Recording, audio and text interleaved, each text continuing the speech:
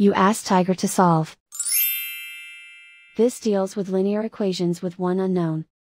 The final result is x equals 113 over 13. Let's solve it step by step.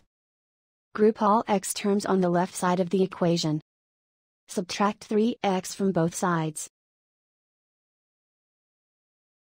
Group like terms.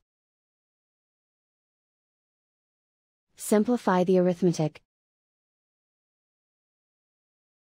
Group like terms. Simplify the arithmetic.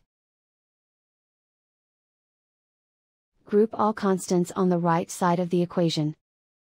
Add 1 to both sides. Simplify the arithmetic.